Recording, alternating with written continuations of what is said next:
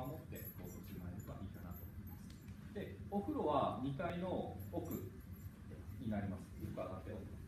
で部屋はみんな3階になりますので、えー注意してください。で、えー夕食は19時からここにみんな揃って入っていただきましょう。であとあ19時じゃない18時かごめん夕食は18時ね。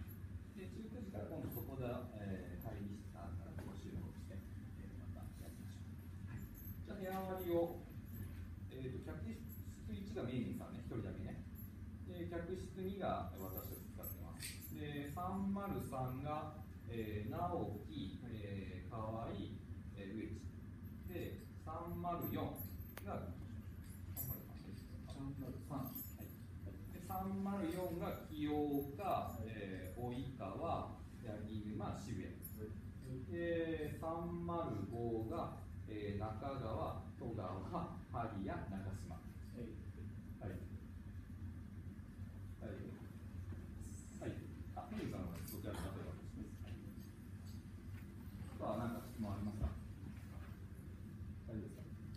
会議室って何て持ってくるあれですか書くものと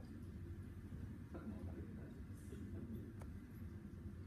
それからあとはしっかり、えー、施設の家まあ、現状復帰をこんなよろしくお願いします。えっと、他今日はお客様いらっしゃる今日はいらっしゃいないいらっしゃらないんですが、あのここってみんなが使う施設でしょ？あの今日は私たちだけが使わせてもらってるんだけど、まあ、出発前に言ってた使わせていただくっていう気持ち、感謝の気持ちを忘れずに、あのお金払ってるから当たり前だろうの考えはもうすぐやめて、ね、大人の考えを強くしてください。いいですか、はい、じゃあ、ここから先は自由時間になるんで、時間通り進行していきましょう。